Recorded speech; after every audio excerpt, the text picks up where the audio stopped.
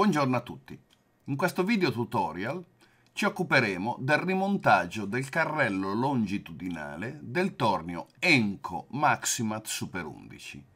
Questo carrello è quello che si occupa di spostare gli attrezzi lungo l'asse del tornio. Come al solito mi aiuterò con il manuale delle parti di ricambio originale, così da avere sotto controllo l'elenco di tutti i pezzi necessari. Il primo pezzo da montare è l'alberino che vediamo nel video. Nel mio caso, questo ingranaggio, che va inserito all'interno di questo foro, l'uso e la mancata lubrificazione lo hanno consumato in modo irregolare. Era diventato a forma conica, perciò dondolava in modo eccessivo, quasi 3 mm. Perciò è stato necessario correggere il foro con una boccola di bronzo e successivamente ho tornito l'albero in modo che tornasse un cilindro perfetto. La maggiore dimensione dell'ingranaggio non ha creato problemi di dimensioni. Per il montaggio procediamo a lubrificare l'albero. Durante l'uso verrà lubrificato da questo foro che è connesso agli oliatori sul carro principale. Procediamo ad inserire l'albero nel foro dall'interno della scatola, tenendolo parallelo al bordo anteriore, poi puoi spingerlo verso l'interno. In precedenza questo ingranaggio dondolava in modo eccessivo lateralmente, ora invece grazie alla boccola e alla tornitura gira perfettamente senza alcun gioco. Questo ingranaggio è tenuto in posizione da un perno filettato. Inserirlo nella propria sede così che questo non possa più uscire. Avvitiamo il perno fino a fine corsa e comunque sotto il livello del piano poiché in alternativa non sarebbe possibile rimontarlo sotto il carro principale.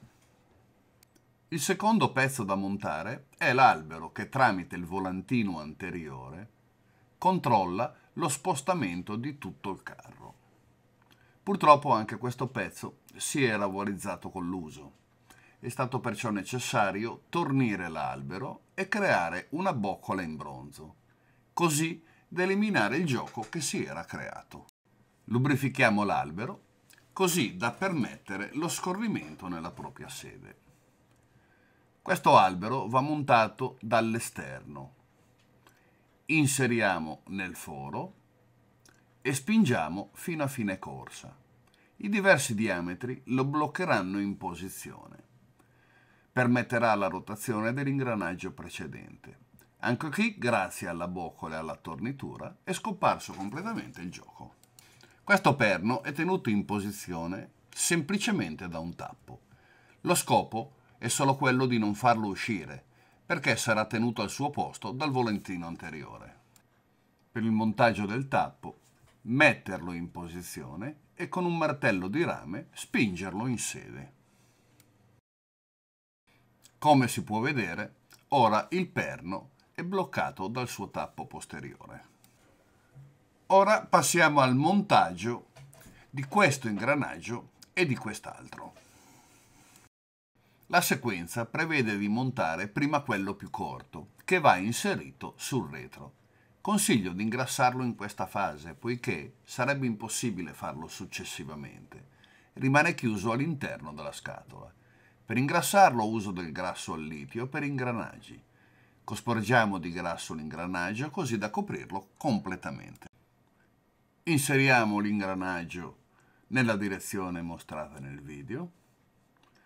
Dal lato opposto la rondella sagomata e blocchiamo tutto il gruppo con il sieger a molla. La sua controparte, che trasferisce il movimento dell'asse esagonale per permette di muovere il carrello trasversale e longitudinale, la ingrassiamo nella parte finale, perché il resto dell'ingranaggio è raggiungibile.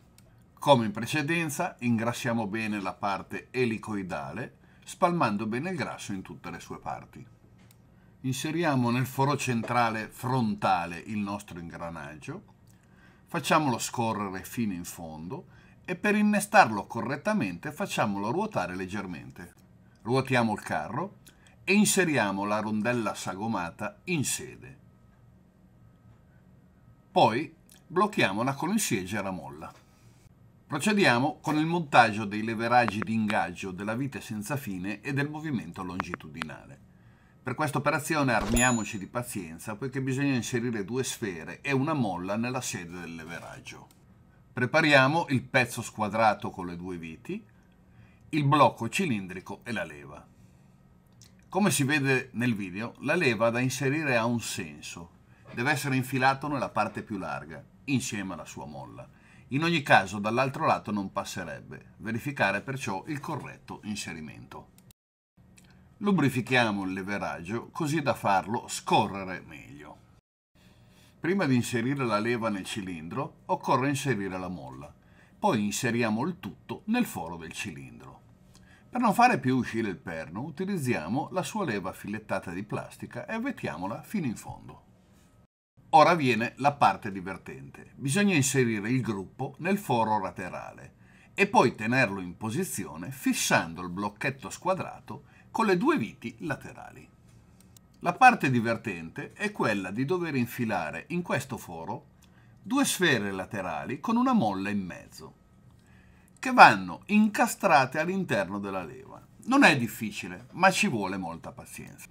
Prendiamo il cilindro, ingrassiamo bene l'albero in tutte le sue parti, sia davanti che dietro, perché dopo sarebbe molto scomodo farlo. Prendiamo la molla e infiliamola nel foro. Inseriamo prima una sfera e poi l'altra. Teniamolo in posizione con le dita.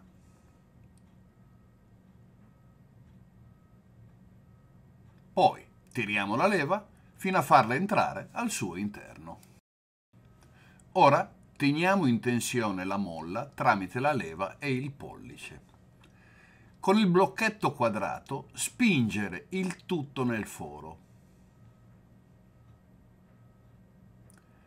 Utilizzando le due viti fissiamo il blocco al carrello. Una volta puntate le viti, le sfere rimarranno in sede. Ora possiamo serrare le due viti e a questo punto possiamo stringerle definitivamente passiamo al cilindro di azionamento dei blocchi per la vite senza fine. Per fare un po' di sforzo bisogna inserire una molla ricurva nella sede del cilindro.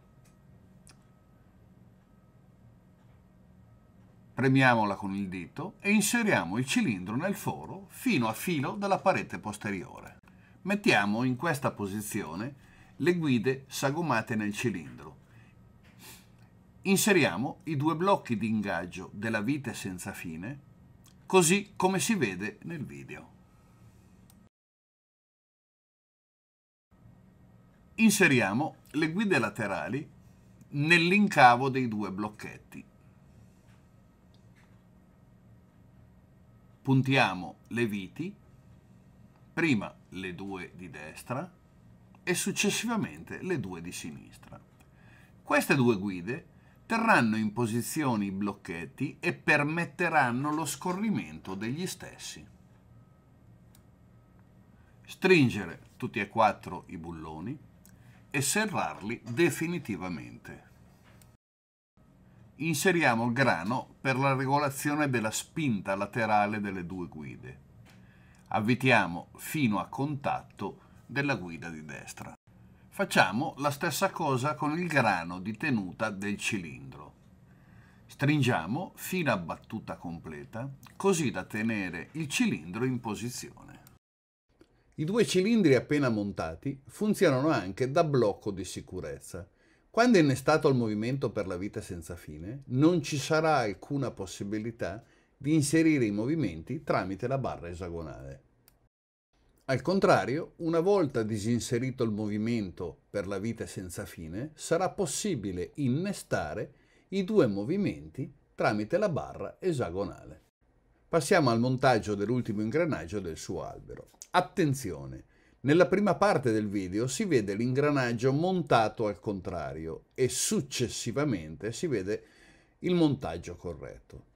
La parte con la sede per il blocchetto va montato verso la parete esterna.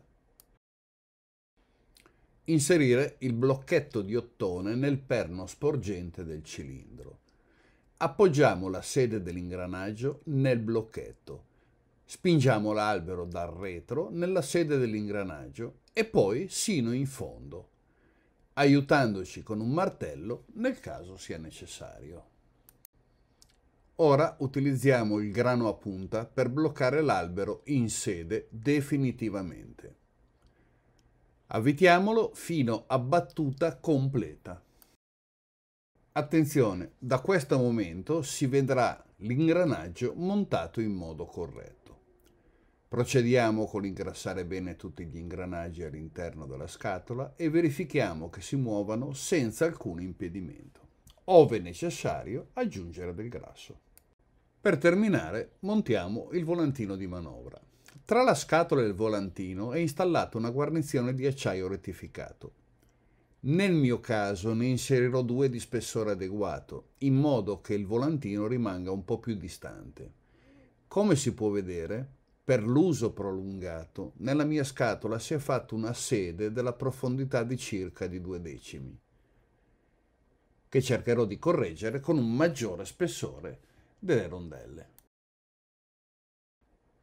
Aggiungo la prima rondella e poi la seconda. Poi inserisco la chiavetta nella sua sede. Per ultimo inserisco il volantino centrando la sede della chiavetta. Aiutandomi con un cacciavite, tengo in posizione la chiavetta, appoggio il volantino e poi lo spingo in posizione. Montare la rondella spessa e il suo dado autobloccante. Serrare fino a quando il volantino gira liberamente senza gioco.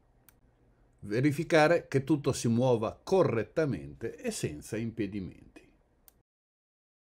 Abbiamo terminato. La scatola è pronta per essere rimontata al suo posto. Spero che il video possa esserti stato utile. Arrivederci al prossimo e grazie per la visione.